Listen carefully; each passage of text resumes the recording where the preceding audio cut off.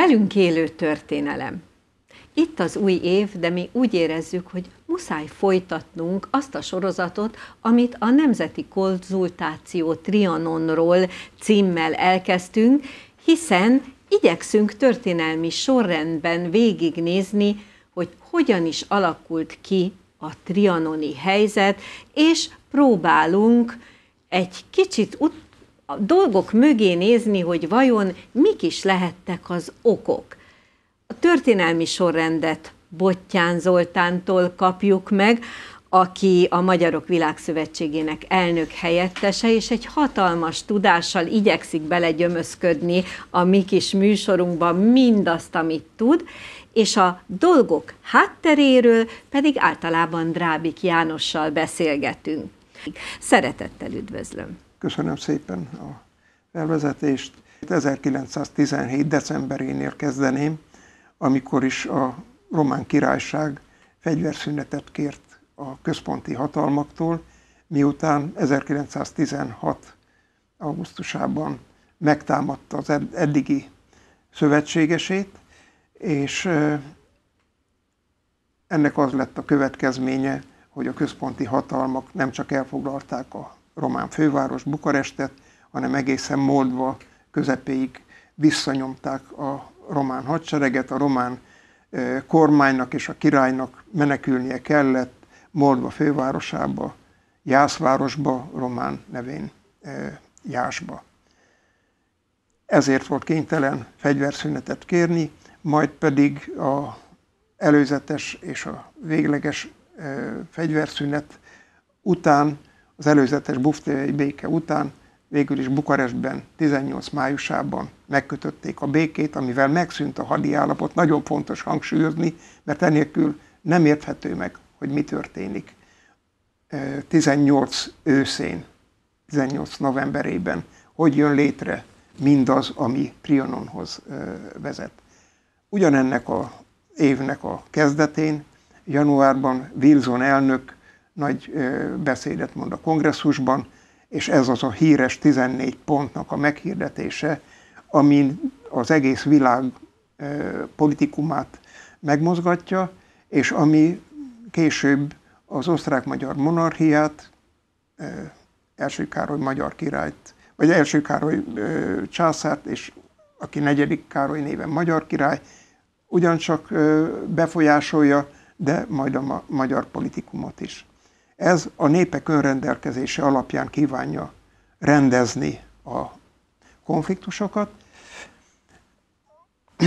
és ez az az év, amikor, aminek a nyarának a végén megfordul a hadiszerencse, és az addig erőfölényben lévő központi hatalmak vereséget szenvednek, a, az amerikai kétmilliós hadsereg és az amerikai pénzerő nagymértékű megjelenésének a, a következtében.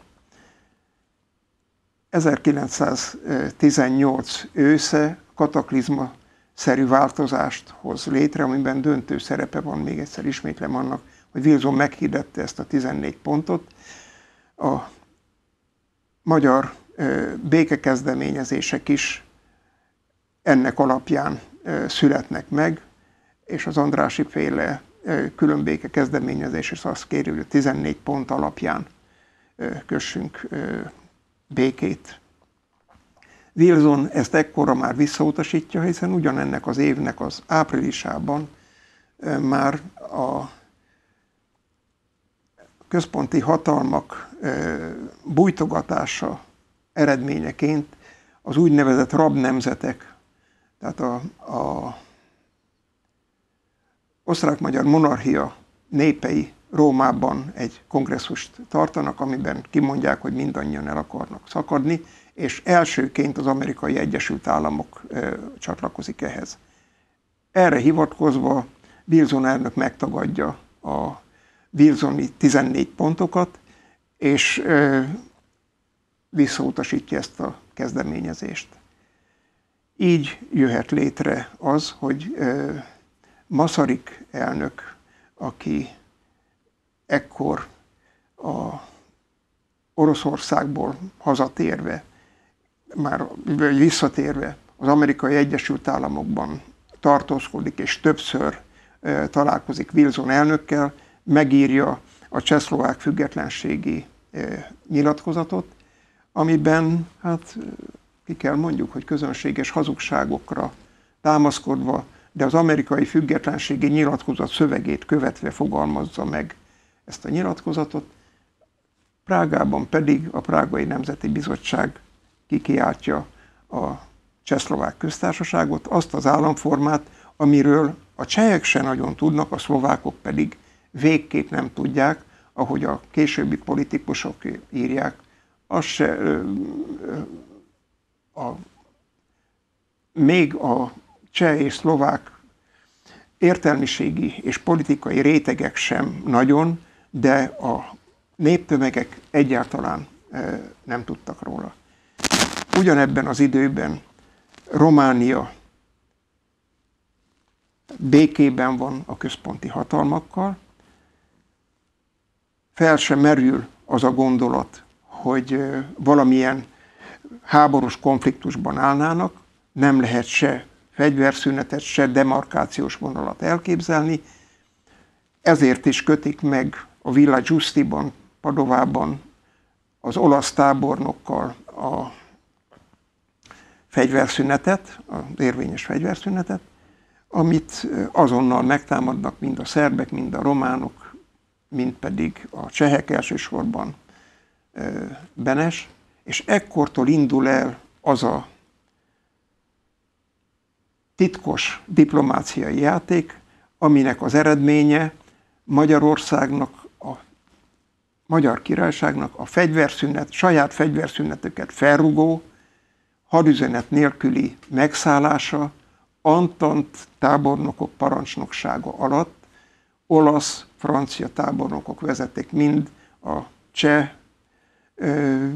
csapatokat, mind a román csapatokat. Elég annyit mondani, hogy csak a román hadsereget kétszer szervezik át ez alatt az idő alatt, francia vezetéssel, Bertoló tábornoknak a, az irányítása alatt, és látnak el az részben Amerikából származó nagy pénztőke segítségével, fegyverekkel, munícióval és mindennel, ami kell ehhez a hadüzenet nélküli támadáshoz.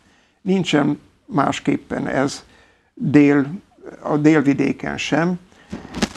Nem szoktunk erről sokat beszélni azért, mert a szerbek a leginkább kedvezményezettjei ennek a úgynevezett belgrádi katonai konvenciónak, hiszen semmibe véve a padovai fegyverszünetet egy olyan demarkációs vonalat jelölnek ki, ami a nagyszamos, a maros vonala mentén egészen Varasdig megy, és itt a szerbeknek is meg kellene állniuk, egyébként meg is állnak ezen a ponton. Érdekes megemlíteni, hogy a, ennek az évnek a végén, ami katasztrofális a magyar történelem szempontjából, hiszen 2018. decembere hozza meg a csehszlovák demarkációs vonalat, idézőjelbe teszem ezt a demarkációs vonalat, hiszen nem voltunk hadi állapotban, és ez a, a végleges demarkációs vonal, ez a gyak, gyakorlatilag a trianoni határvonal, Ugyanez az év hozza meg Kolozsvár megszállását, karácsony napján, október, vagy december 24-én nem csak Kolozsvárra vonulnak be a románok, hanem a román király meg se várva további fejleményeket proklamálja Erdélynek a Romániához való csatolását is. Ezzel itt be is fejezném ezt a visszapillantást, arra szeretnék befejezésül utalni, hogy éppen ezért 2018-ban az Antant világ készül ennek a századik évfordulónak a megünneplésére. Ez az az év, ami nemzeti üdvtörténetet adott azoknak, akik rabló módon megajándékozottan jutottak hozzá magyar területekhez.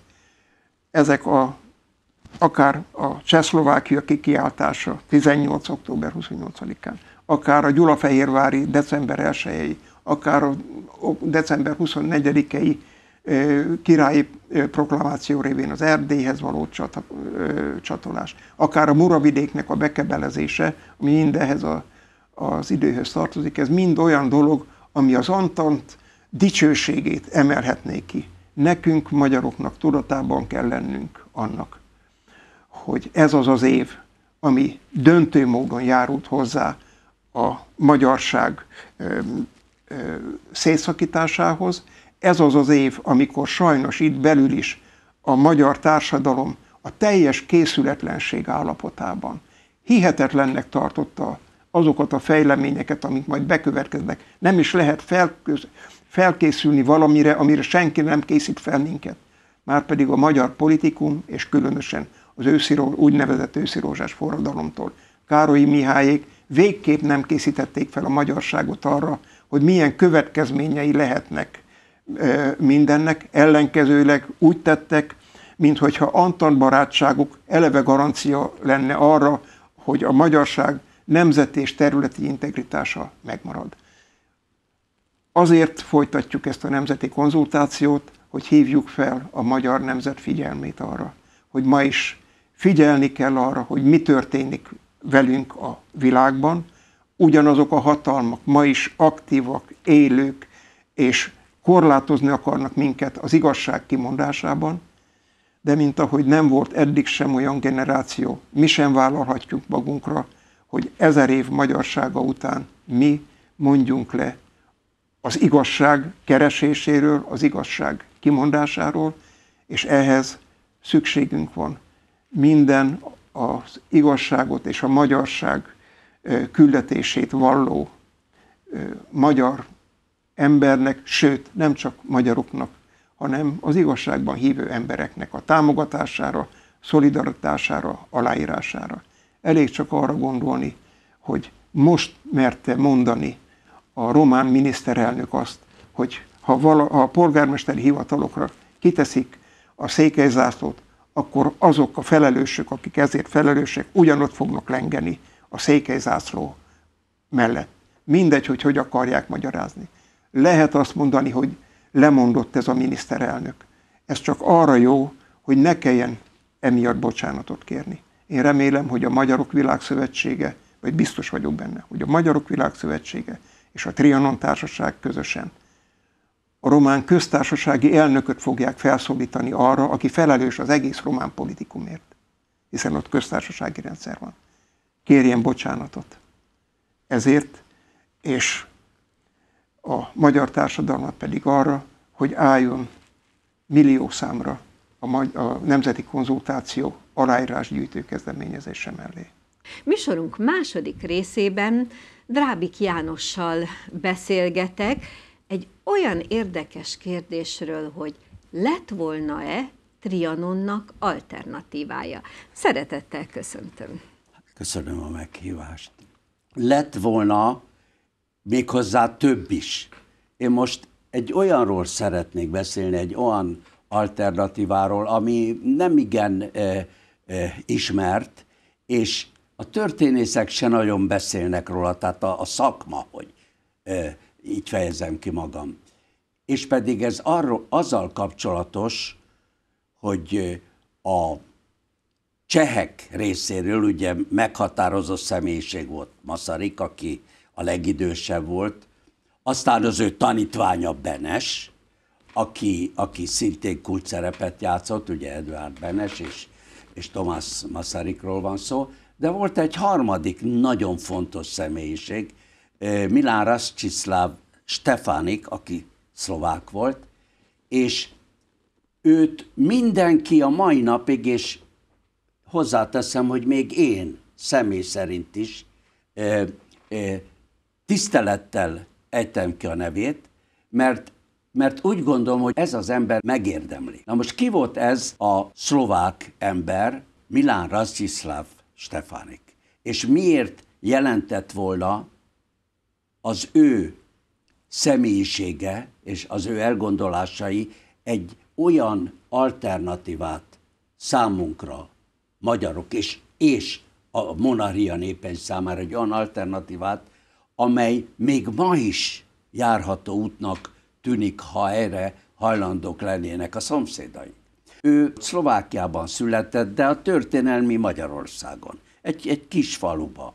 Járt e, Szlovákiába iskolába, illetve a szlovák nyelvterületeken, járt Pozsonyba iskolába, de szarvason érettségizett. És aztán e, iskoláit pedig már Prágában, ekkor lett a Maszariknak a, a, a tanítványa, mert először építészmérnöknek készült, aztán aztán végül filozófiát tanult, matematikát tanult, csillagászatot tanult. Masaryk az egyik professzora volt. Na most ő később aztán folytatta a tanulmányait Németországba, majd pedig onnan egy nagyon jó ajánlással kikerült Párizsba, de úgyhogy nem tudott franciául, és, és az a kiváló francia csillagász, aki akkor a kor legnagyobb csillagászai közé tartozott, ő vette magához asszisztensnek, és így ő belőle egy, egy nagyon képzett csillagász lett, aki azzal is karrier csinált, hogy többek között többször is, nem egyszer, többször is fölment a, a Mont Blancra, ami e, e, Európának a, a legmagasabb csúcsa meg azért, hogy, hogy onnan vizsgálja a csillagosságet közelebbről a napot, mert napkutató volt. És amellett a világ különböző tájaira elment, csillagászati kutatásra, de diplomáciai feladatok teljesítéseire is, mert ez kiderült róla, hogy egy rendkívül ö, rokonszenves és megnyerő ember, aki a legnehezebb dolgokat is el tudja rendezni. Most ilyen körülmények között ö, jött el az az időszak az első világháború előtt, ahol ő végül is fölvette a francia állampolgárságot, és, és 1914-ben belépett a francia légierőhöz, különböző, hát kezdte pilótaként különböző gépekkel repült, de 1918-ban már a, a francia hadsereg tábornoka, aki, aki akkor már bejárta a világot, hosszú időket eltöltött Oroszországba is, mert ugyanis a Cseh légiónak ő volt cserészről a parancsnoka, sőt a ottani helyi parancsnoknak is ő volt a parancsnoka, mert ő egyszerre volt a, a, a, a emigráns, mert ugye emigrációban megarakult a Cseh Nemzeti Tanács, amit kormánynak fogadtak el, annak ő volt a hadügyi tárcájának a vezetője, tehát egyszerre volt a cseh emigrációs kormányzatnak ugye a tagja, másrészt egy francia tábornok volt. Miért érdekes, hogy ezt így elmondtam? Azért, mert amikor elérkezünk 1918-hoz, majd 1919-hez, akkor a 18 azért fontos, mert ő akkor már nagyon mélyen elgondolkodott azon, hogy mi, mi következzék a háború vége után.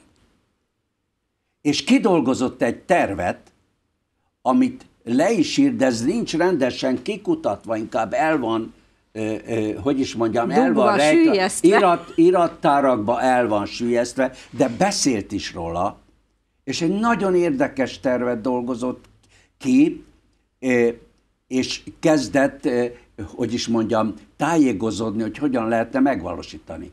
Ugyanis kiderült, hogy Stefanik nem akarja a, azt, ami osztrák-magyar monarchia volt, azt nem akarja ő, ő megsemmisíteni. Azt akarja, hogy a németek azok menjenek ki, menjenek a németekhez, de a maradék, ami nem német, ami hát lényegében északi szlávok, délszlávok és, a, és, és az erdélyi románok, és hát zömmel többségében a magyarok. És az ő elképzelése az volt, hogy németek nélkül lényegében a monarchia alakuljon át egy korszerű, modern, demokratikus államá, mégpedig úgy, hogy, mind, hogy minden népnek saját állama lenne, saját tör, alkotmányjal, törvényhozással, kormányjal, a, a saját anyanyelve lenne a hivatalos nyelv, de maga az egy, a, tehát az államszövetség az, annak viszont Budapest lenne a fővárosa, Ó, tehát, a, szö, tehát a, a szövetségi főváros lenne Budapest. Mindegyik tagállamnak lenne saját fővárosa, saját parlamenttel, saját ö, kormányjal, de lenne az a szövetségnek, az államszövetségnek is lenne egy fővárosa, az Budapest lenne. És a szövetségnek az államnyelve a magyar lenne, azért, mert ugyanis magyarul mindenki tudott. E- Egyszerre két nyelvet tanultak az iskolába, tehát ez volt az ő elképzelése. Ez teljesen ütközött azokkal az elképzelésekkel, amelyeket Masaryk, és, és hát mindenek előtt Benes, aki, Benes azt kell tudni, hogy az Masaryk is hazudott. Mert ugye ő is rákényszerült, hogy hazudjon, mert mindenáron el akarta érni, hogy ne legyen e, e, e, népszavazás. Tehát az, az elvett területeken ne legyen, mert ő le is írta a nép, vagy Csehszlovákia, vagy népszavazás. Mert ha van népszavazás, akkor nincs ez, ezt Masaryk írta le. Benes az tömény hazugságokat leírt sorozatba. Gátlástalan, mert egyszerűen fanatikusan pánszlávista volt, és mindenáron egy északi szláv, tehát nem független Csehországot akart, hanem egy cseh birodalmat akart, amihez lényegében óriási területeket, amelyeknek Cseh, Csehországnak soha a történelem során semmilyen köze nem volt, azokat is lényegében bekebelezte. Ez 18-ba ö, konkretizálódott ki ez a dolog. Ő neki a háború végén a tevékenységének a súlypontja az Párizson túl Olaszország volt, mert az olasz fronton ugye a Szibériából, Vladivostokon keresztül már hazaérkező cseh légiósokat. Ezeket ő már az olasz fronton bevetette, ugye osztrák-magyar mona, ahol, ahol egyébként ugye a, a, a, a magyaroknak volt kult szerepe a magyar ö, ö, honvédségnek. Na most ő ti- ö, 19-ben jött vissza, hogy bizonyos ellentéteket, amik Prágában, tehát az új államban, a francia és az olasz képviselet között, a, a Prágában működő francia és olasz képviselet között konfliktus alakult ki. Sok minden oka volt ennek. Most ebben nem megyek bele. De jött haza, hogy ő, mint ennek a új csehszlovák kormánynak a hadügyminisztere, ő ezt elrendezi és egy olasz géppel jött haza, amit egy olasz pilóta ezredes, egy őrmester és egy eh, navigátor, és ő volt a negyedik. Négyen ültek a repülőgépen, és ez a repülőgép Pozsonyi Vánkánál, az mi Pozsony közelében van, ez a gép lezuhant. És mindenki meghalt. Természetesen nem lehetett elkerülni egy vizsgálatot, és azt se lehetett elkerülni, hogy ezzel ne foglalkozzon a sajtó. Az egész európai sajtó nagyon is bőven foglalkozott vele, és a legkülönbözőbb variánsok láttak napvilágot, hogy, hogy a gépet a csehek lelőtték. Benes lelövette, ugye? Hogy, hogy tulajdonképpen leszállt a gép, de amikor kiszálltak az utasok, akkor lőtték le őket. És azt máig nem tisztáztuk. Mi, erről akarok beszélni. Erről akarok beszélni. És, és aztán ö, olyan, olyasmi is volt, hogy hát tulajdonképpen egy tévedés történhetett.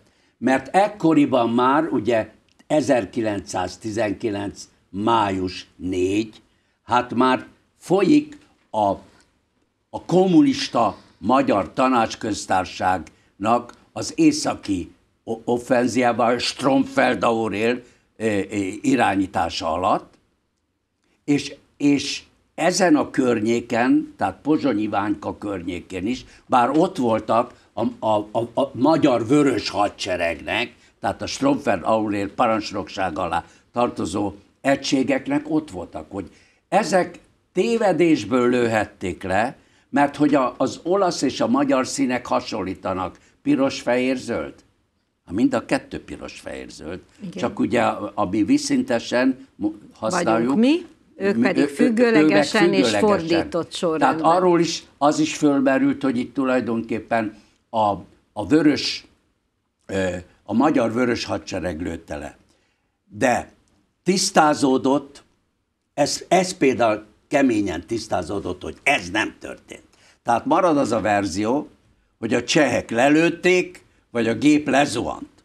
És ott is a verzió, hogy, hogy volt-e golyó a, a áldozatokban, vagy nem volt golyó. Az egészben az az érdekes, hogy volt egy alapos vizsgálat, és azonnal letitkosították uh-huh. az eredményeit.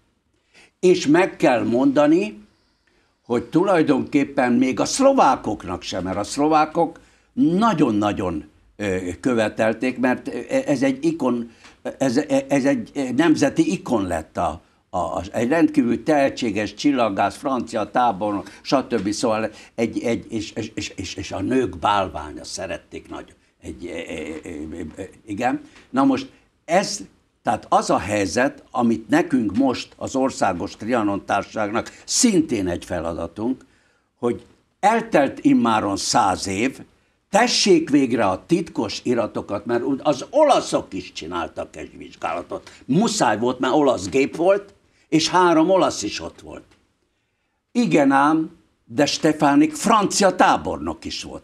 Tehát a francia kormánynak is kellett egy vizsgálatot csinálni. Igaz, hogy kicsi megkésve, de egy nagy, egy külön francia vizsgáló bizottság kijött, és elvégezte a munkáját, és csinált egy nagy vizsgálatot, de mi történt az eredménnyel? Azt is letitkosították. Tehát még mai napig, na most a csehek, ugye Václav Havel, amikor ketté szakadt Szlovákia, illetve Csehszlovákia, cseh és szlovák államra, akkor azt hozta ajándékba Pozsonyba, nem mondta meg, hogy mi az, csak annyit mondott, hogy nem volt Stefánikba golyó. Vagyis az a verzió nem állja meg a helyét, hogy, hogy leszállt a gép, és, és, és akkor őt lelőtték. Ennyit tudunk, hogy nem volt benne olyan. De azt például nem tudjuk, hogy a francia bizottság mit vizsgált ki. Aha. És ezért azt gondolja az Országos Trianon Társaság és a Magyarok Világszövetsége, hogy száz év után eljött az idő arra, hogy a letitkosított vizsgálati anyagoknak a teljes szövegét szíveskedjenek nyilvánosságra hozni. Mert addig feltételezhetjük mert, mert azt, úgy, hogy... Mert ez nekünk egyáltalán nem mindegy hogy miért kellett Stefániknak meghalni. Azért kellett meghalnia, mert nem értette egyet azzal, hogy azt műveljék a magyarokkal, amit műveltek? Meg így eltűnt az ő csodálatos é, verziója. É, hát így van. Ezért mondom én azt, hogy amikor az, várjuk ezt a, nemzetünknek ezt a legnagyobb tragédiáját jelenő eseménynek az évfordulóját, rengeteg ilyen teendőnk is van,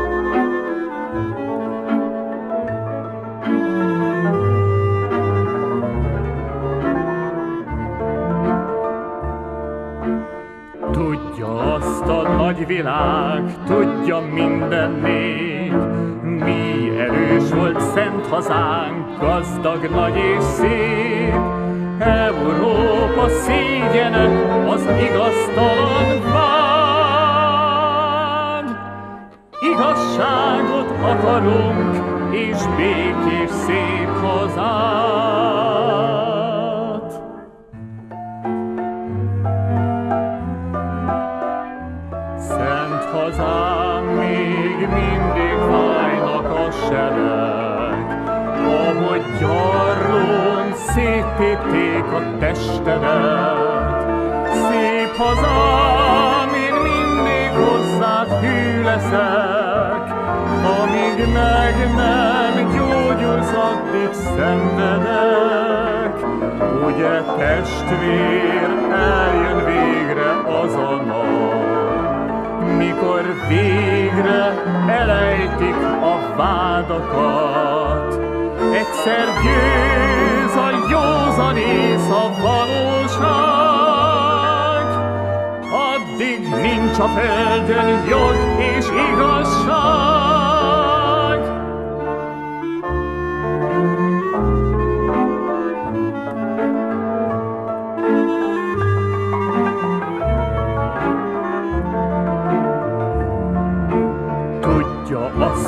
Nagy világ, tudja minden nép. Bűnösök minden vagyunk, Isten ránk tekint, Európa szégyene az igaztalan vád. Igazságot akarunk, és békés szép hazát.